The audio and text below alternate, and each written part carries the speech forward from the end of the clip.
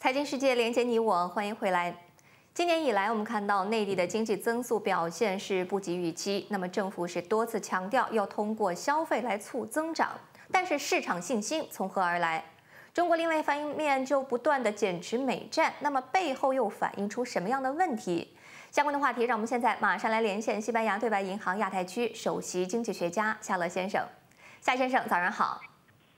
早上好，主持人。先想跟您来探讨一下中国方面的一些情况啊。那么近期我们看到国务院是召开了第二次全体会议，总理李强呢是再次强调要继续扩大消费来促进投资的政策空间，来刺激到消费，调动民间投资。不过这个消费一定是要与居民收入来挂钩的。如果说这个居民对于收入的预期感到悲观的话，那么消费啊可想而知也会是昙花一现的。或者是说啊，在不提高收入的情况之下呢，可能就要靠降低生活成本了。比如说电力呀、医疗啊、教育啊、住房啊，跟大家这个生活息息相关的方方面面的价格。所以想请问一下您啊，现在单提消费是不是很难会解决到问题呢？呃，现在的问题就是像您所说的啊，我们现在在强调扩大内需啊，特别是对于啊居民部门的消费这一块啊，但是在另外一方面呢，呃，在收入啊这方面啊，可能呃还是缺乏一些呃刺激收入的政策，特别是在整个经济环境处于一个呃存在高度不确定性的这样的情况下，那么大家的这种。消费欲望自然不会跟之前一样那么热烈啊，还有呢，呃，在一些方面，比如说在医疗啊，在养老保险呐这些方面，当然可以增加一些长期的制度性的建设，把这些成本降下来，让大家的担心降下来。但是这些呢，呃，我个人认为可能真的是啊，远水解不了近渴，这个可能需要几年的时间才能够看出它的这样的一个效用展现。呃，那么呃，最直接的办法啊，就是我也是一直比较支持的，就是向居民部门发放一定的这种现金或者是消费券，来直接刺激这个消费。呃，如果缺乏这样的呃政策的话，那么我们现在。讲的这些扩大消费，可能是呃支持一些家电下乡啊，啊支持一些绿色的啊这种能源车啊，它给更多的折扣啊这些，呃我想在很大程度上可能呢，呃它的效果不会特别大，与之前我们需要达到的这样的一个刺激消费、扩大内需的政策效果，我想都是有比较大的偏差的。呃当然呃现在我们看到上边已经定下这个基调。未来的政策，呃，我相对来讲还是比较乐观的。我认为，既然你要求扩大消费啊，那么其他的一些政策啊，小打小闹啊，使下去，发现并没有非常好的政策效果，那么他自然会考虑到政策加码。我只不过希望这种政策加码，或者是呃这样的一些。重磅的政策能够早一点推出，争取呢一步到位，不要让大家等得太久。因为在现在的情况下，等得越久，大家的消费热情、这种消费欲望可能是有减退的。就像您刚才讲的，呃，时间长了，可能大家被迫的要进行这种呃消费降级，大家会考虑怎么省钱，而不是怎么扩大消费。目前我们看到，在服务业的行业里边啊，包括旅游啊、餐饮呐。还有啊，包括酒店行业呀，哎，还有演唱会，我们现在看到这些呢，呃，大家的消费欲望仍然很强，所以趁这个时机啊，推出一些重磅的政策，让大家把其他方面的消费也提振起来，我认为是比较必要的。嗯，所以啊，促消费这个话题呢，可能是一个长线的话题啊。但是我们现在最想看到的，不是一个远水解不了近渴这么一个情况，我们需要找的是什么呢？找的是一些近水啊。所以希望大家也不用等太久啊。那么最近呢，其实大家一直在讨论这个内房债务暴雷的话题啊，也是担心会上演一个中国版的雷曼事件。现在想请教您了，就算啊，现在这个内房的债务问题是得到了一些解决，保交楼的问题就算是现在也解除了，但是想问一下，这个居民的购房信心真的就可以回来了吗？如果届时说有大量的新房啊涌入到了市场当中，但是市场又信心缺乏，那么房价又会不会大幅的下跌？这个雷是不是依然会爆啊？呃，我觉得，呃，对于您假设的这个前提，就是说如果能够把保交楼解决啊，这个其实是一个非常呃重大的这样的一个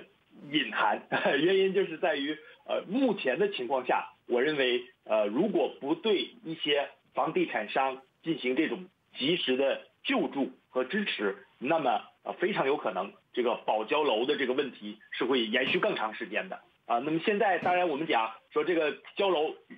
迟早啊，他会。要把这个楼交出来，只不过是到底要延迟半年、一年，还是两年、三年，甚至五年、六年，这个是一个非常大的问题啊。那么我们现在看到啊，房地产市场的这种信心不振啊，在很大程度上是和房地产商自己陷入困境是有很大的这个联系的。我们知道，如果一家房地产商他的呃已经处于呃这种财务呃。不仅是暴雷，就是应该说是破产的边缘。那么他的这些房屋，就算这种房屋它最后给你交出来了，大家其实还是有很大的疑虑，你的售后怎么办，是吧？啊，而且呢，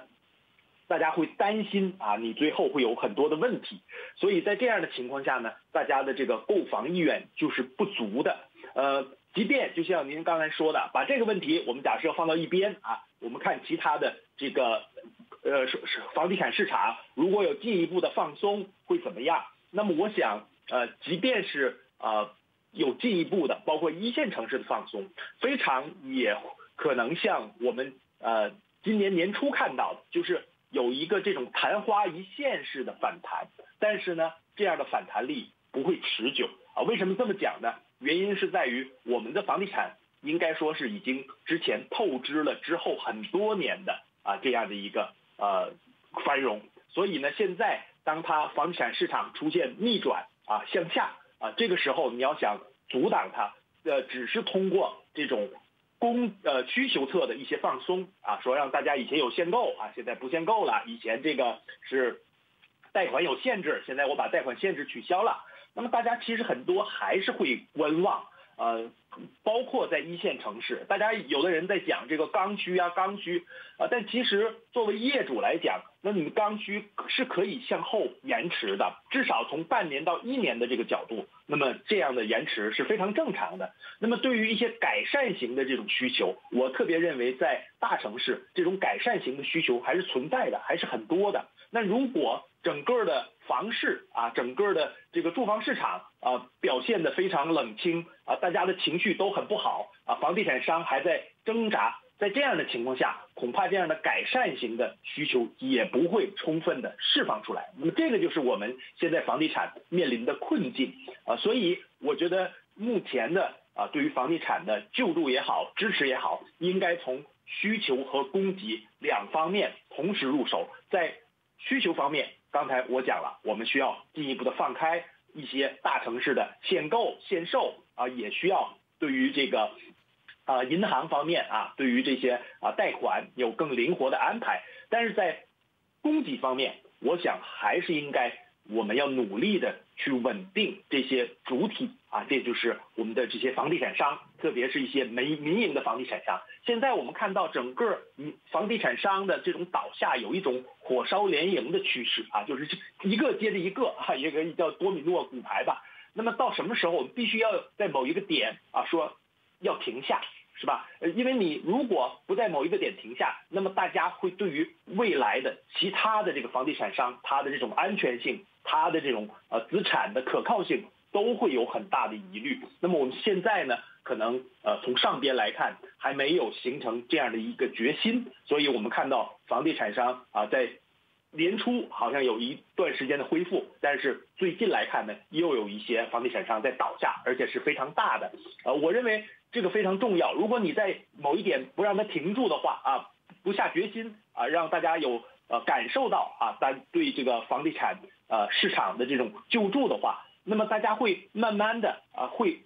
质疑你剩下的这些房地产商，因为现在的确处于一个非常不正常的状态。如果你拿这个房地产商的这个资产负债表啊这些来看，我认为再过一段时间，绝大部分如果他拿不到新的贷款。都会陷入这样的困境。如果你不能够给大家传递信心的话，哦，大家就会质疑，包括你国有的这些房地产商，为什么你能未来能够呃存活下来，所以这个是一个很危险的信号。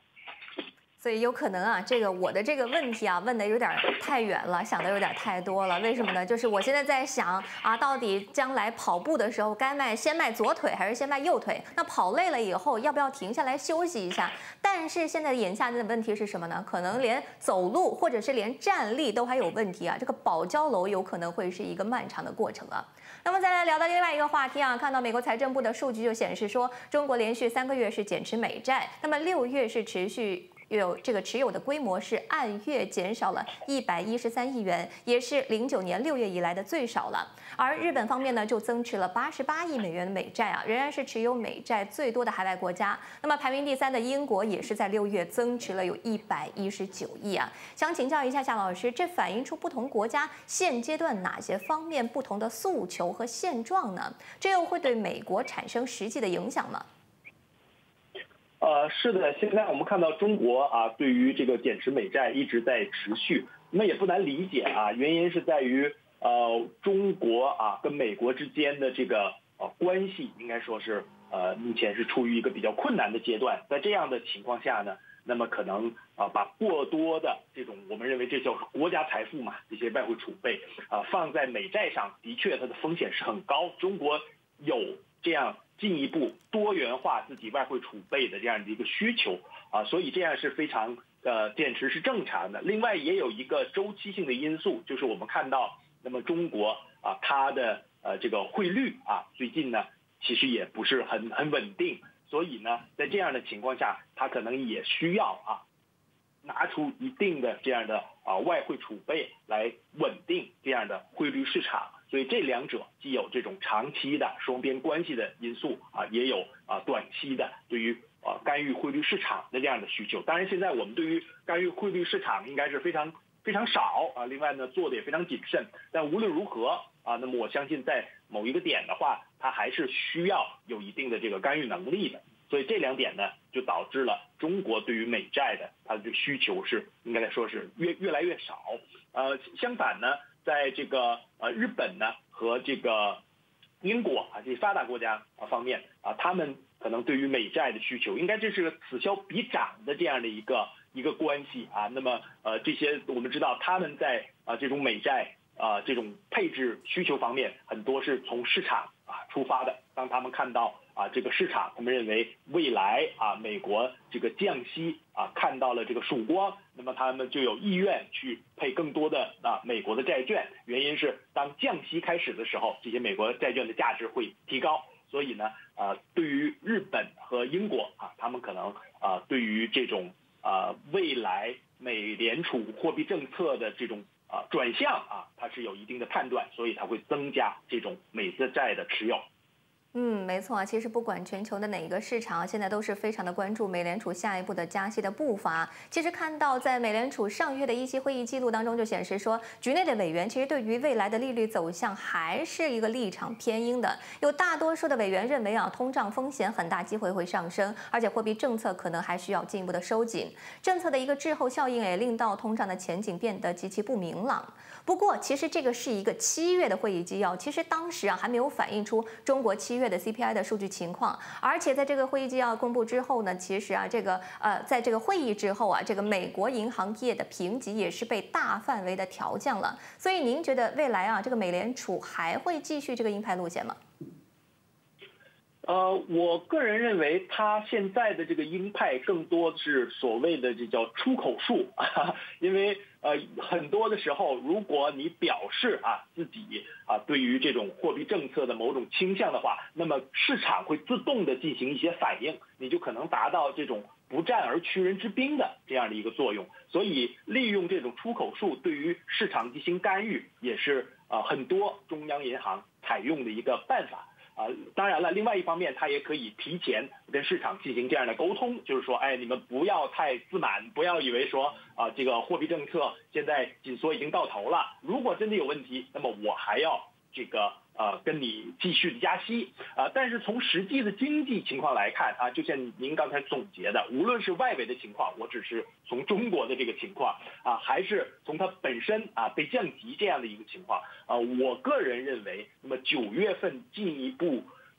加息的这种概率应该是在减小啊。那么之前我们认为百分之五十五十，现在呢，现在可能就是变到百分之三十甚至二十了啊。那么这样的情况下呢，啊，美联储应该说还是有一定的呃条件啊，不继续加息。但是呃，更重要的是，当前的比较高的这样的一个政策利率。它可能会持续更长的时间啊，我们不能说看到它不加息了，就认为说现在是变变成宽松了，边际上是有改善，但事实上呢，现在的这个政策利率仍然保持高位，只要它不改变啊，进一步降低现在的政策利率，那么我认为它的这种货币政策其实还是偏紧缩的，更何况它的缩表啊也是不断的在进行，不断的从整个的啊银行体系里、经济体系里。向外抽这个流动性，所以综合来看，那么我们我们认为美联储还是保持这种比较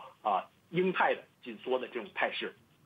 好的，非常感谢夏乐先生啊，今天与我们的电话连线带来了精彩的点评。这一时段的财经世界也就先到这里了，感谢您的收看，我们再会。